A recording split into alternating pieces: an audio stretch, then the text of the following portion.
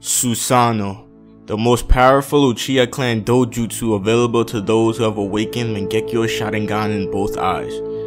What's good everyone, it's your boy Anime Analyst aka the Young Jiggy Ninja and today I'm gonna be spitting some ninja knowledge at you people.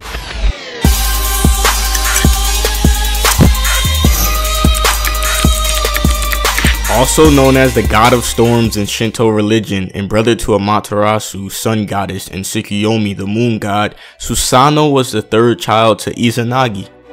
Now there is a slight nod to this sibling connection in the original Naruto series where it stated that only those who unlock both Mangekyo Sharingan techniques, Amaterasu and Tsukuyomi, will be able to attain the third technique, Susanoo. These rules slash conditions were later refined to Susanoo being accessible to any user that just has two Mangekyo Sharingan. In Naruto, Susanoo is a humanoid chakra veil that surrounds the user and essentially becomes an extension of their will. If you ever watch Power Rangers, you can basically think of it as a personal megazord type of thing. Like anything they do Susanoo's gonna do. This technique was first seen in Naruto manga chapter 391 titled together with the thunder. Itachi activated it in order to survive an almost devastating blow from Sasuke's Kirin attack during the battle. This is the only thing that saved him and I clearly remember seeing the Susanoo when it debuted in this battle and I really didn't know what it was. It looked like nothing I had ever seen before and I couldn't relate it it to anything as well. Because generally in Naruto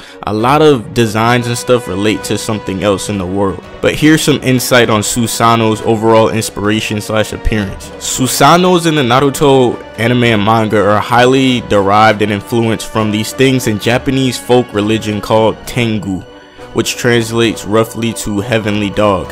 Tengu are a type of legendary creature that are sometimes considered Shinto gods so they originally took on the form of birds, but as time went on, they were humanized a bit more and it left like human and bird characteristics with them. So an example of that would be the First, Tengus were imagined with beaks, but now since they were humanized, a lot of modern Tengu have unnaturally long noses that you may have seen with the Susanoo, like Madara's, like all the perfect Susanoos have long noses. Susanoos also have two sets of arms, which the second pair act as wings when perfect Susanoo is achieved. When you actually look at the Susanoo wings, you can still see the hands up at the top of them this is also kind of towards the bird characteristics. The Susanoo arms turn to wings eventually. Alright, so Tengu are associated with the life practice known as Shugendo. This involves revolving life around becoming one with humanity and nature. In their final forms, Susanoo's garbs are based off Shugendo practitioner known as Yamabushi. So those garbs that you see the Susanoo wearing in their perfect forms, those are reminiscent of Yamabushi, those who who practice Shugendo. So that's where the inspiration came from. It's a lot of stuff from Japanese uh, folklore and Japanese uh, Shinto type stuff.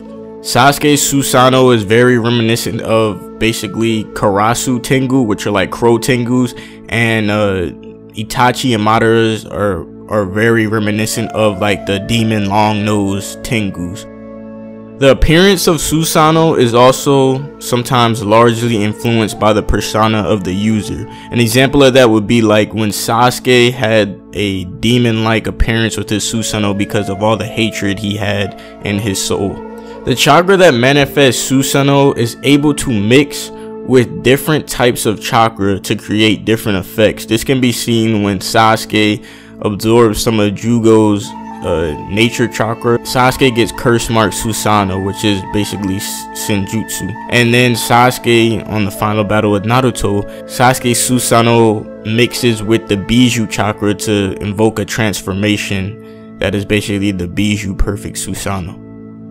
As you guys already know, Susanoo has different developmental stages and experienced users are able to selectively use parts of the stages that are needed when damaged, Susanoo cannot regenerate. It's not something that that is that powerful that it just regenerates on its own. The only time a Susanoo can uh, repair damage is if the Susanoo upgrades to the next form or a complete dispersion is used and then you reactivate it. That's the only way you're going to get your Susanoo repaired. And as powerful as Susanoo is, it is still susceptible to visual and auditory attacks. And in addition, the use of Susanoo with normal Mangekyo Sharingan wielders, it gradually deteriorates your eyesight and causes continuous immense pain throughout the entirety of the user's body. So this is not a technique that you can just use all the time when you have Mangekyo Sharingan because it deteriorates your eyesight slowly, slowly, slowly. This is crazy, but it also seems that once Susanoo is mastered, you no longer need Mangekyo Sharingan to activate it, considering Madara Uchiha used the technique without any eyes in his sockets at all, man. Like, this man used Susanoo with no fucking eyes. That's crazy. Going back to the Japanese lore, when Susanoo was banished to the earthly realm for harassing his older sister Amaterasu, he was basically thrown from the heavenly realm because he was such basically a wild god who always uh, pranked his sister and destroyed stuff from his sister Amaterasu, the sun goddess. So when Susanoo went down to the earthly realm, he found out that people were being uh, attacked by a giant eight-headed serpent named Yamato no Orochi you might see some little parts in here that are familiar. So Susanoo destroyed him with his Totsuka blade that he inherited from his father Izanagi. So once he killed the eight-headed serpent, inside the belly of the serpent he found the legendary Kusanagi grass cutter sword. A reference to this plot slash idea can be seen when Itachi Susanoo defeats Orochimaru's eight-headed serpent technique called Yamata no Jutsu. That's what Orochimaru's technique is called. So Susanoo, the first time it was seen, it defeated Orochimaru in his Yamata no Jutsu. That jutsu that Orochimaru has is named after the eight-headed serpent Yamato from Japanese mythology. So you can clearly see the connections. There's a lot of heavy Japanese mythology references in this show that you might not have realized if you haven't kind of delved into the whole Japanese uh, lore slash mythology type stuff. It is also funny that Orochimaru usually keeps his sword in his stomach and stuff like that, his grass cutter, Kusanagi sword, and when Susanoo killed Yamato in the lore, he found the grass cutter in his stomach. So it heavily ties back into a lot of the stuff in Naruto being related to Japanese folklore slash Japanese mythology. Thank you guys for watching this episode of Ninja Knowledge. If you learned something, hit that like button. If you're waiting for some more ninja knowledge, hit that subscribe button while you're over here. Let yourself get enlightened, gain some insight. Thank you guys for watching, and I'll check you guys later. Peace.